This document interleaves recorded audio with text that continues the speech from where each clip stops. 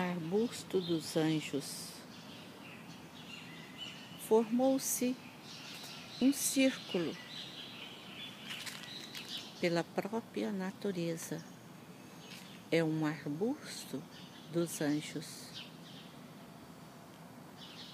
onde a esfera do verde cumpre a finalidade de nos dizer que a natureza e o homem, com carinho, com amor, podem fazer verdadeiras obras de arte.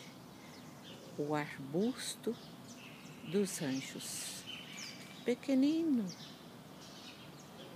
mas majestoso nesta esfera verde que cumpre a finalidade da saúde energética de todos aqueles que por aqui passam, inclusive o pássaro que agora caminha bem ali. Obrigada, Deus.